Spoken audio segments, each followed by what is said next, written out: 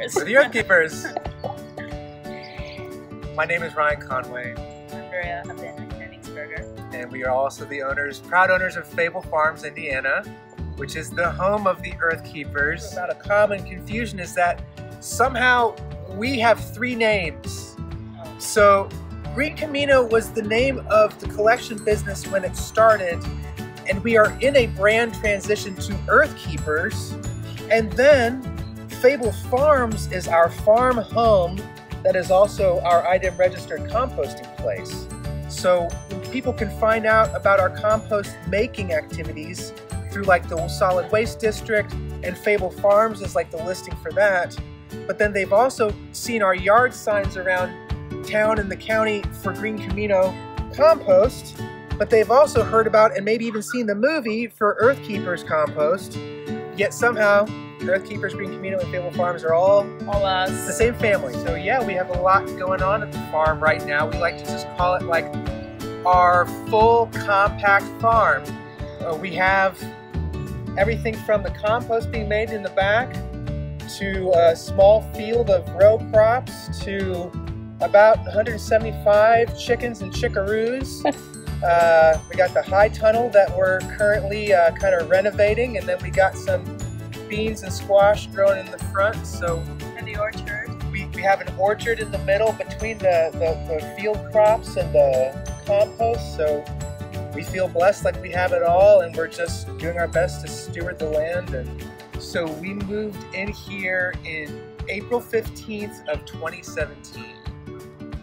So we are just in our, somehow we've, we've, we've only been here three years, but now it feels like our entire life and we've we've evolved away from our old lives so much that this is our new life and we love it and uh, it's very much our home at last. Yeah i'd say community organizers and academics.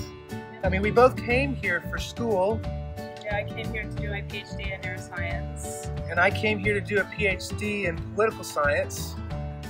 But we just kind of fell in love with the monroe county community and just it had things that we had both always wanted in a community vibrant, kind people who were always pushing to make it a better place for everybody. And um, and it was really easy to just get integrated and start working immediately. And so it's been it's been great. And and and really soon after we started working with different groups, we were just really well networked, right? Because Bloomington has that thing to it that it's big enough but small enough where you can get to know the main players and, and, and really fast start branching out your networks. And so sadly, we were just like, we knew everyone and we just felt really at home.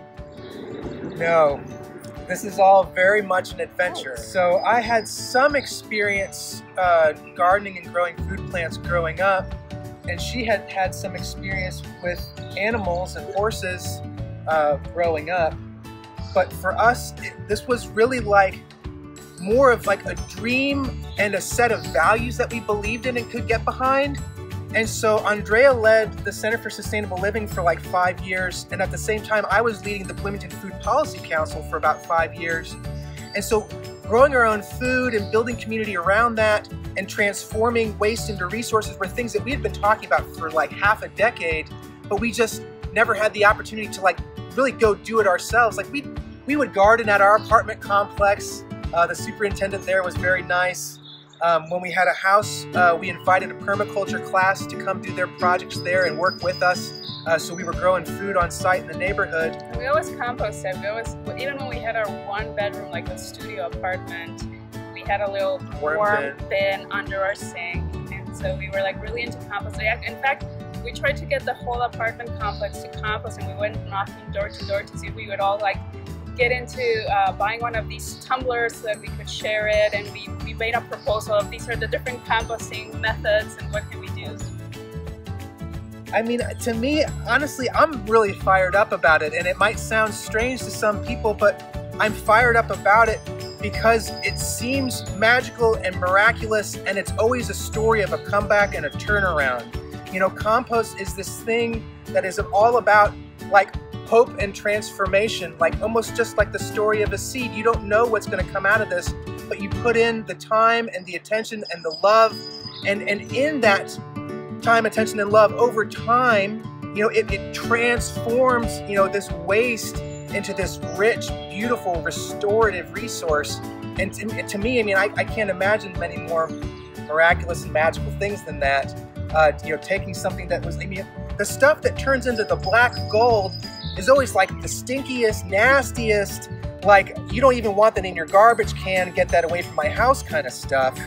but when we take that from people and provide that service and then we cook it essentially here, uh, that, that transformation process is just beautiful to me. And I think that, that I love at compost is that it combines my sciencey side with with art, right? Because science, you can't say that it's 100% science. You can't calculate every single thing in, in composting. You know, it, it's not an exact thing where you have a precise recipe that you follow, and then the whole biology of it at another level is just it's amazing. It's it's. I mean, I, I almost wish I had been a soil scientist instead of a neuroscientist. When I started doing that, I was like super into it. I was actually considering changing careers, you know. And so, um, yeah, I, I, I, just I love that about it. It. As Ryan was saying, it's a really it's a compact farm, and we have a little bit of everything. But in some ways, it does all revolve around this compost system. Just going to do the composting, and we were going to partner with other people who were going to be doing the collection. And eventually, that evolved into us doing the collection also.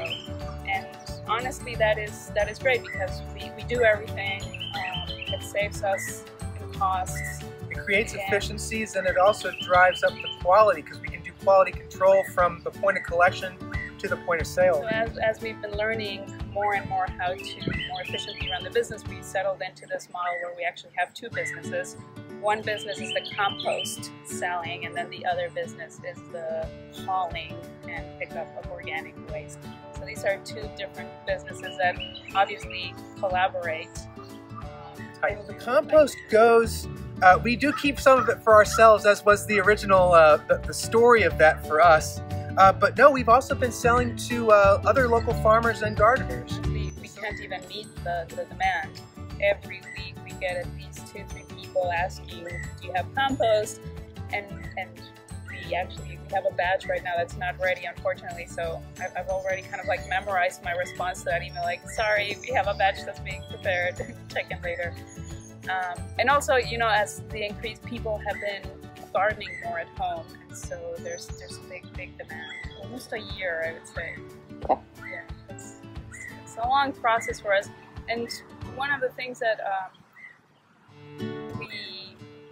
don't rush it. You know, that's that's that's a big thing for us. We just we don't rush it, and uh, so I think that also makes the product better.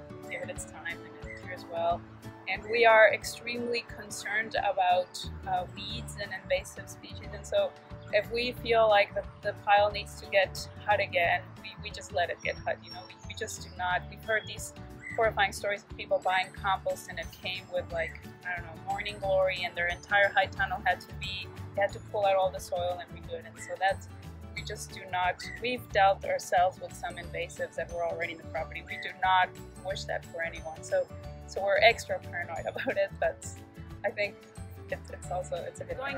At the beginning, everything was very anxiety producing, right? Because we had like we we came in here like so used to just we're doers, right? And we're like, oh, in one year we're gonna be growing crops, we're gonna have gigantic compost piles. And no, and, and people kept telling us like it takes you at least three years to like know your land, and we're like, we didn't want to believe that. and yeah, like and, and we'll clearly, get it in three months. Yeah, and clearly it took us a long time to get to know our land and really understand the cycles.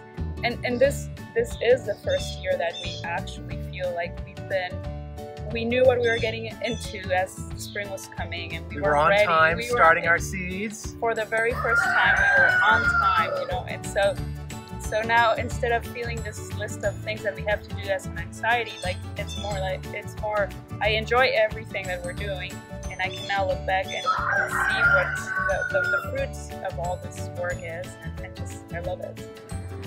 My favorite part of the farm honestly is having my family here and being able to have friends out. I mean, getting the farm, we were able to essentially, you know, we, we were like, okay, we're making this our home. We would love for this to be like a, a project of love so we sent out the call to her family, my family, everyone's welcome. And sure enough, her mom bought the lot that's right behind my parents' lot, which is right next door. So now, now both sets of parents are thoroughly integrated into the farm. So just having, you know, my folks and my brother living here, her mom having a lot here and planning on getting here, like it makes it just so deeply satisfying for this to be this restorative place for not just us but our loved ones and it binds the past to the present and the future in a really beautiful way and is kind of transformative for all of us because you know we've all I think wanted to have more access to and life on the land and this was our first you know experience and chance to do so even as a family so being able to have the family here is certainly for me uh, uh, my, my favorite part uh, because it just grows and expands the dream uh, and the vision of this to touch so many more people.